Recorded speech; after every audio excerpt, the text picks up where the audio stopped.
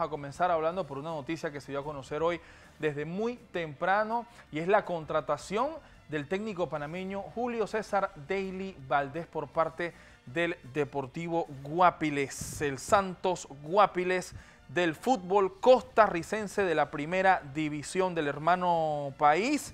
Esto ya lo ha hecho oficial las mismas redes sociales del Club Tico. En estos momentos el Santos Guapiles se encuentra en un mal momento, luego de sumar una victoria, un empate y ocho derrotas en lo que va de esta campaña 2023-2024. Tienen apenas cuatro puntos en 10 jornadas con 27 goles en contra y nada más 8 a favor. Son los números del equipo a donde está llegando Julio César Daily Valdés. En estos momentos el Santos Guapiles también se encuentra en la antepenúltima posición y obviamente han llamado a Julio Daily Valdés para enrumbar el camino, para cambiar la dirección y tratar de salvar, salvar al equipo del descenso.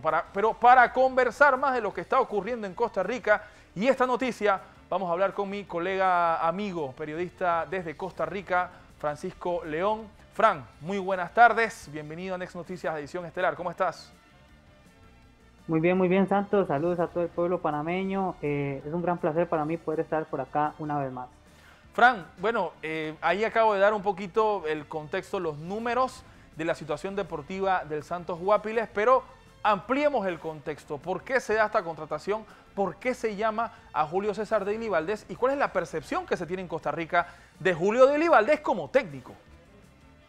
Eh, bueno, Santos, eh, primero que todo, a toda la prensa nos tomó por sorpresa eh, la llegada de Julio César del Deli Valdés al fútbol nacional con el Santos de Guapiles. Yo creo que la sorpresa es por la figura que es y también al equipo que va, porque fue una sorpresa total. Este Santos de Guapiles, como bien lo anotabas al principio, está pasando una situación muy, muy, muy difícil este, en la tabla y en el fútbol nacional. Este, la percepción nuestra es que Julio César de Valdés es una figura, es un histórico del fútbol de Centroamérica. Sin embargo, creo que ustedes lo conocen más, creo que eh, a nivel de técnico eh, no le ha sonreído tanto a como le había sonreído a nivel futbolístico. Sin embargo, nosotros sabemos y estamos muy contentos de recibir en nuestro país a una figura así del fútbol centroamericano. También estamos muy contentos porque aquí en Costa Rica, no sé si en Panamá se da, pero aquí hay mucho reciclaje técnico.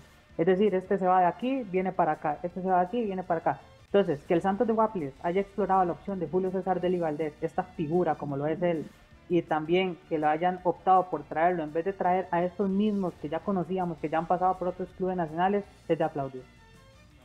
Sí, totalmente, ¿no? Eh, Julio de Valdés, eh, como técnico definitivamente no le ha ido muy bien, estuvo por El Salvador con el Águila, no le fue bien, acá en Panamá con el Tauro, el Árabe Unido de Colón, tampoco digamos que le fue eh, de la mejor manera.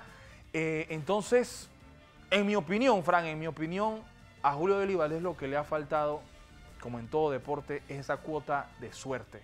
Mal técnico no es, estuvo muy cerca de meternos en el repechaje en el 2013, eh, en esas eliminatorias rumbo a Brasil 2014. Ha estado con la sub-20, ha formado a muchos jugadores en Panamá. Pero te pregunto porque al inicio me dijiste que estaba sorprendido por el equipo al que llega. O sea, por la figura eh, renombrante que tiene eh, Julio Deli Valdés, usted, de repente tú, hubieses esperado que llegara a un equipo más grande, está llegando un equipo de media tabla hacia abajo y que en este caso está peleando el descenso. Es correcto, Santos, por lo que te explicaba anteriormente, ¿verdad? La figura que es Julio César, el, el Deli Valdés en Centroamérica y también que Santos de Guapiles haya hecho este, pues esta contratación eh, no, era esperada. Santos de Guapiles, antes de este entrenador, tenía un entrenador que se llama Brian Camacho, que es un entrenador que ha pasado por varios equipos acá en Costa Rica, ha sido asistente de diversos entrenadores con buen nombre aquí en Costa Rica, pero no ha hecho más que eso. Y también antes de la temporada pasada eh, tenían a Randall Rowe, que es un entrenador formado en el Deportivo Saprissa, siempre fue asistente en el Deportivo Saprissa muchos tiempos, con muchos procesos, le dieron la oportunidad de ser técnico en el Santos, lo hizo muy bien Después le llega una oferta también del Deportivo Saprissa y se vuelve a ir como asistente del Saprissa y deja el puesto de entrenador al Santos de Guapiles antes de que comenzara esta actual temporada. Entonces Santos, ves que los últimos dos entrenadores no tienen como ese nombre o ese ese estirpe que tiene Julio César Deli Valdés. Por eso a mí me sorprendió mucho que el Santos de Guapeles tomara una decisión de este tipo, porque aquí en Costa Rica ya se estaban escuchando nombres de lo que yo te decía, el mismo reciclaje técnico que existe aquí en Costa Rica. Ahora, Fran, eh, el Santos Guapiles juega hoy, en unas horas, contra la Liga Deportiva Alajuelense eh, y en la próxima fecha juega contra el Saprissa.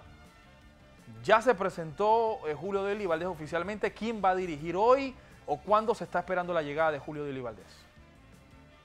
Eh, bueno, Santos, esperamos más información con respecto a la llegada de Julio César Deli Valdés, tal vez el día de hoy, cuando algunos personeros del Santos de Guapiles pues, logren hablar con, la prensa, ¿verdad?